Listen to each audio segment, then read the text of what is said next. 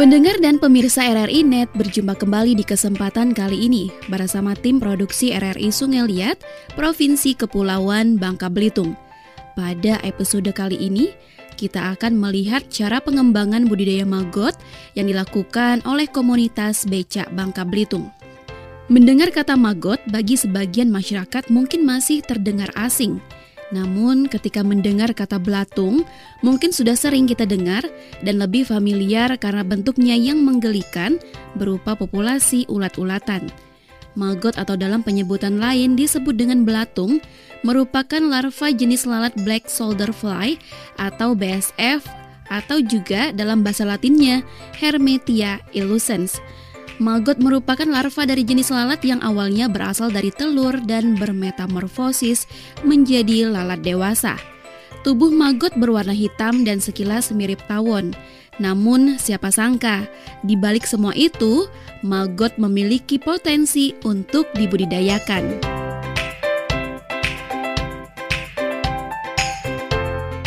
Budidaya maggot salah satunya dikembangkan oleh komunitas becak Bangka Belitung. Mulai berdiri sejak 2016, komunitas yang fokus akan lingkungan ini di antaranya konsen dalam pengelolaan sampah. Awal ide dari pengembangan Magot terinspirasi setelah mengikuti kegiatan Jambore Indonesia Bebas Sampah pada waktu itu tahun 2019 di Bali. Berikut pengakuan Ketua Komunitas Becak Bangka Belitung, Arinda Unigraha. Nah di Bali kita langsung belajar tentang budidaya ulat maggot ini yang bisa membantu untuk mengurai sampah organik. Nah sepulang dari situ mulai 2020 hingga saat ini jalan ke 2023 kita mulai aktif membudidayakan maggot black soldier fly ini. Untuk potensinya sendiri seperti apa? Ya potensinya luar biasa. Kami di tahun 2020 dan 2021 itu uji coba. Nah di 2022 kita mulai menghitung. Di 2022 kemarin Alhamdulillah ternyata maggot ini bisa mengurai 7,2 ton sampah yang ada di Sungai Liat.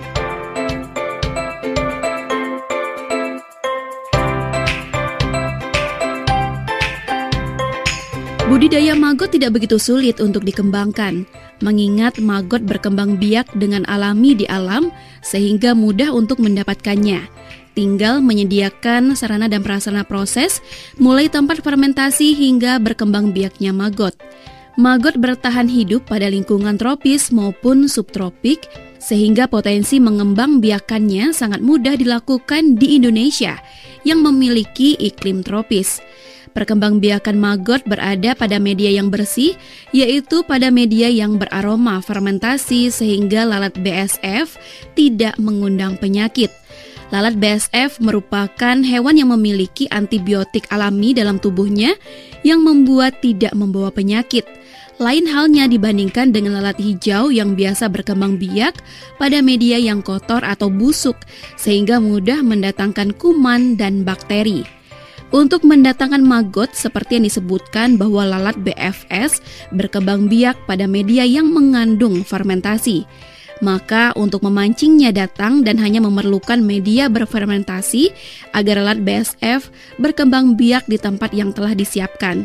Untuk lebih jelas bagaimana proses budidaya maggot ini, berikut kita simak penjelasan Arinda. Untuk kita siklusnya kurang dari satu bulan. Jadi yang pertama setiap hari kita itu mengumpulkan sampah anorganik ya sampah anorganik dan juga sampah organik.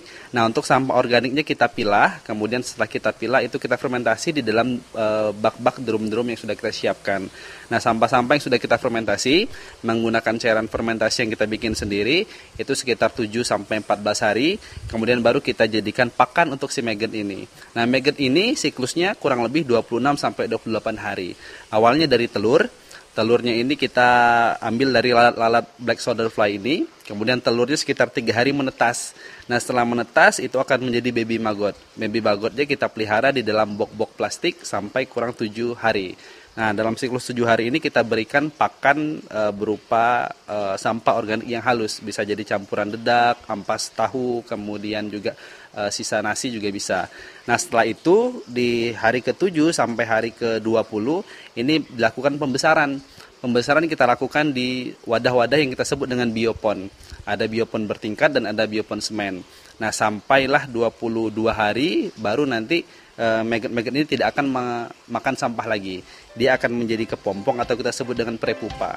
Setelah itu di hari ketujuh dia akan jadi pupa. Nah pupanya ini bisa kita budidayakan lagi untuk menjadi lalat tentara hitamnya.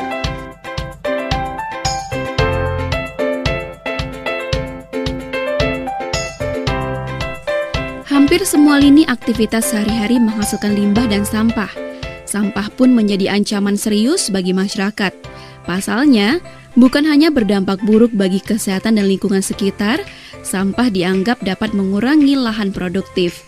Karena itu dibutuhkan sebuah cara out of the box dalam penanganan dan pemanfaatan limbah rumah tangga. Belakangan banyak dimanfaatkan maggot dari lalat Hermetia illucens atau black soldier fly untuk mengurai sampah. Binatang kecil ini diklaim mampu mengurangi 80% sampah rumah tangga dan limbah pengolahan pabrik. Bahkan maggot BSF yang kaya akan protein membuat larva ini bisa dijadikan sebagai pakan ikan dan unggas. Selain itu, penguraian sampah budidaya maggot menghasilkan pupuk organik, sehingga tidak hanya bermanfaat mengatasi sampah, pengembangan budidaya maggot ini pun dapat menghasilkan pendapatan bagi pembudidayanya. Pengelola maggot Wangka Garo menyebutkan pengembangan budidaya maggot memiliki nilai ekonomi yang menjanjikan. Ya, alhamdulillah karena harga di maggot ini bermacam-macam harga kan. Untuk telur itu per gram. Kalau nggak salah itu satu gramnya itu 12.000 sekarang. Hmm. Dan untuk maggot fresh itu 10.000. Untuk pupa itu kalau sekarang satu kilo 60.000. Yang kering? Pupa itu sebelum menjadi lalat. Kalau yang kering? Kalau yang kering itu 15.000 per 100 gram. Ini dipasarkan di mana saja?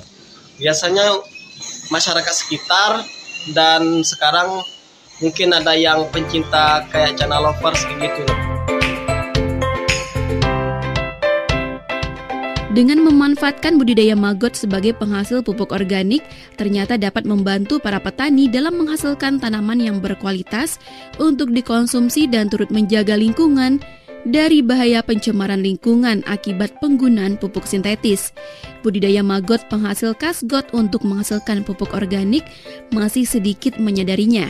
Maka dari itu, perlu adanya pengembangan agar masyarakat mulai beralih dan menyadari banyaknya manfaat dari pengembangan budidaya maggot. bagi masyarakat dan kami berharap uh, masyarakat juga mampu melakukan pengolahan sampah secara mandiri. Budidaya maggot ini tidak harus skala komunal, bisa juga di tiap-tiap rumah tangga, di dapur mungkin disediakan. Jadi ada sisa-sisa makanan langsung dikasih untuk pakannya si maggot ini. Dari Sungai Liat, Bangka Belitung, Ratna Gusari.